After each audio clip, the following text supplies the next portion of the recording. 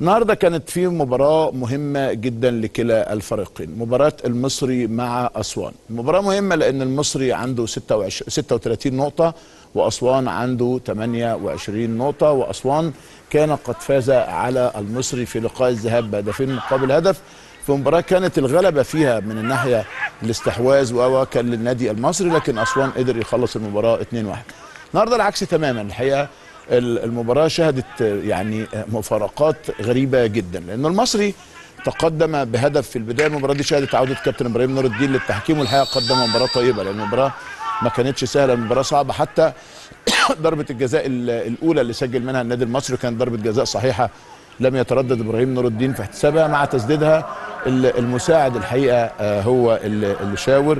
وكان برافو عليه علي علاء طلبة لأن الكرة كانت بالفعل تخطت خط المرمى من تسديدة عبد اللطيف جريندو عشان يتقدم المصري 1-0 والكل توقع إن المباراة هتكون سهلة لصالح النادي المصري لكنه خلي بال حضراتكم هنا رميات التماس. هنا نادي أسوان بيجيد رميات التماس وده كلام هتكلمه كتير على كابتن ايمن الرمادي مدرب فريق نادي أسوان من رمي التماس. الكرة اتسددت ما شافهاش طبعا كابتن إبراهيم نور الدين لكن الفار جابه ضربه جزاء صحيحة. كل الكلام ده يا جماعة كان في بداية اللقاء يعني في الدقيقة 13 جريندو في الدقيقة 20 محمد حمدي زكي بيسجل الهدف الأول لأسوان عشان تصبح النتيجة التعادل واحد واحد. بصوا حضراتكم بصوا الكرة دي منين؟ يعني بصوا حضراتكم الكرة منين؟ ومتاخدة إزاي؟ أصلا الكرة مع النادي المصري. تمام. لا سيبك من دي. الكرة بقى بتاعت الهدف الثاني ده بعضا بصوا حضراتكم منين؟ من نص الملعب. أدي اتنين أربعة خمسة أبيض على اتنين أزرق. لكن محمد حمدي زكي بلغة الهداف الحقيقة وبمنتهى سوء التوفيق لعصام ثروت الحاجات دي بتبقى صعبة. يعني تقدر بتقول إنها مسؤولية الحارس لكن هو بتبقى يعني صعبة جدا جدا. طبعا الراجل جاي من بعد نص الملعب جاي لوحده. خمسة لعيبة تمركز سيء جدا جدا دفاعيا وإنهاء هجمة رائع رائع بالنسبة لمحمد حمدي زكي. طبعا النادي المصري عنده العديد من الغيابات ابرزها الياس الجلاسي وكمان عنده مشكلة في إصابة دغمون بص الهدف الثاني بقى خلي بالك من حمدي زكي اللي معاه الكرة ده. بص بص محدش اولا بيضغط خالص والراجل ماشي براحته خالص ومرر ثم التمريرة الثانية لأحمد خالد اللي جاي. ده شغل ده كله شغل مدرب. ثم بلال السيد جاي منين وقطع منين ورايح. كل ده شغل مدرب. اللي انت شايفه ده شغل كابتن أيمن الرمادي. اللي انت شايفه لأن اللعبة دي اتكررت أكتر من مرة ويا ريت يا نصر بعد ما تجيبها تعيدها تاني عشان الناس تشوف التحرك كان عامل إزاي في الكورة من بداية الهجمة من نادي أسوان. بص حضرتك أدي واحد. طبعا defense المصري مش موجود أصلا. هنا برضو ما فيش ضغط. فوت. لا مرر عشان هنا بقى أربعة ولا حد بيضغط. بتروح للراجل يحطها بمنتهى البساطة والجمال لأحمد خالد اللي قاطع. بلال السيد كل ده شغل تدريب. كل ده شغل فني تدريب بالعرض ومدافعه المصري بيقولوا من فضلك سجل جون. الله يخليك. يعني ما تأخرش عن كده. سجل آه هدف يعني. حاول بقى المصري العودة للقاء في الشوط الثاني. آه لكنه هتشوفوا هجماته يعني ما تحسش بالخطورة. كرات عرضية تتلعب بالراس الحارس عمرو حسام يعني شبه لم يختبر. يعني فرقة خسرانة فرق اثنين والمصري ده اللي كان خسران من الزمالك 2-0 وعدل النتيجة إلى الفوز 3-2 في المقابل شوف بقى خطورة هجمات أسوان. كل ده شغل مدرب الاحتفاظ بالكورة اللعب من على الإجناب الوصول مرة بص ولا حاجة ولا حاجة كلها حاجات بسيطة كلها حاجات لا تهدد مرمى الحارس. كرات عرضية تتلعب بالراس ترتد عشان حد يسدد ولا حاجة. يعني تقريبا دي الكرة الخطيرة الوحيدة اللي على عمرو حسام حارس مرمى نادي أسوان. تعالى بقى حضرتك شوف الفرص الضائعة من نادي أسوان. بص الراجل استلم حمدي زكي وتسديدة صاروخية أنقذها ببراعة عصام ثروت. ولو دخلت ما لاموا عليها أحد يعني.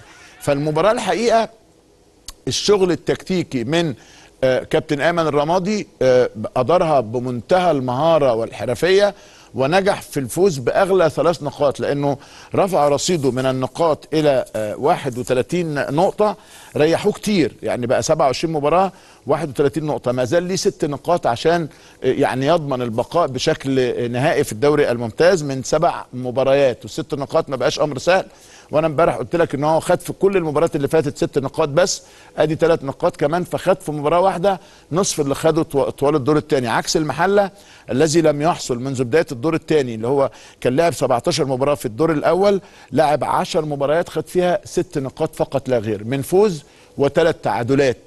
فمن هنا دايما النقاط بتبقى غالية وعزيزة في الدور الثاني جدا. أنا الحقيقة حبيت أحيي فريق نادي أسوان بإدارته بجمهوره لكن التحية الكبيرة للكابتن أيمن الرمادي لأن أنا عارف الظروف الصعبة اللي بيلعب فيها واللعيبة اللي مشيت من عنده والظروف المادية اللي مجلس إدارة بيجاهد بكل ما اوتي من قوة إنه يتغلب عليها لأنه بقى حلم الجنوب كله إن ظاهرة الجنوب إن نادي أسوان يبقى في الدوري الممتاز وهو اقترب كثيرا يعني لكن ما زال عنده مباريات. وادي ايمن الرمادي للمباراة باينه على وشه لكن الحقيقة إدارته للمباراة إدارة رائعة إدارة هائلة. الحقيقة بحييه وبهنيه وبقول له يعني الحقيقة في أول موسم ليه كمديرا فنيا في الدوري المصري لنادي أسوان مش أثبت وجوده. لا ده قال إن أنا مدرب محترم ومدرب ممتاز ومدرب قادر. وأنا بعتقد إنه بعد ما تنتهي مهمة ايمن الرمادي مع أسوان إن شاء الله تكون نهاية خير وسعيدة على كل جماهير وأهل أسوان إنه ايمن الرمادي هيتحرك إلى نادي عنده إمكانيات أكتر شوية. ده ده ما يزعلش الناس في أسوان الحقيقة. راجل عمل اللي عليه وزيادة. ربيع ياسين الحقيقة مع هيثم عرابي كونوا فريق محترم جدا في بداية الموسم ما كانش عندهم بخت اول ثلاث مباريات خسروهم من الاتحاد ومن المحلة ومن الأهلي. ومشي الكابتن ربيع ومشي هيثم وجه كابتن ايمن الرمادي. وعامل الحقيقة يعني ملحمة في أسوان. الحقيقة بهنيه جدا جدا. وهارد لك للمصري لأن المصري كمان لعب منقوصا من عدد كبير جدا من لعيبته. يعني مثلا لما تشوف دكة البدلاء ما تلاقيش حد باستثناء محمود جاد وحسن علي اللي شارك نزل الفيومي. آه عنده عمرو المرسي أحمد شداد عنده عدنان عثمان عنده محمد الظريف آه آه حسام حسن زياد فرج حتى كابتن يعني حسام حسن ما بقاش عارف يغير مين. يعني حسن علي نزل بدل من عبد الرحيم دغموم نزل عدنان عثمان ومحمد الفيومي بدل من أحمد عماد ورجب عمران عمرو المرسي وحسام حسن بدل من عماد أبو بكر وإسلام عطية لكنه ما أثرش في شيء الحقيقة أو ما أثرتش في شيء هذه التغييرات. كل كل كل التهنئة لنادي أسوان وهارد لك للنادي المصري وليا نقطة بس أو ليا وقفه قلتها من يومين وأرجع أكررها تاني إنه في خلافات موجودة. وانه التصريحات اللي بتطلع بعد المباراة بتعكس هذه الخلافات وإنه الشارع في بورسعيد بدأ يحس بهذه الخلافات. المصري خلاص ضمن البقاء في الدوري الممتاز لأن المصري من 27 مباراة عنده 36 بونت خلاص هي نقطة البقاء 36 لو اتعظمت قوي هتبقى 37 نقطة لأن أنت عندك حرس الحدود 16 نقطة لكنه من 24 مباراة لكنه الأمر صعب بالنسبة حرس الحدود. كل شيء وارد في عالم كرة القدم. طلع الجيش 21 من 24 مباراة الاهلي 24 من 26 مباراة الداخلية 26 من 27 مباراة وهكذا الأمر صعب ليس سهل على الفرق إنها تجمع نقاط في الدور الثاني لكن الحقيقة تهنئة من جديد لنادي أسوان على هذا الفوز وهارد لك للنادي المصري.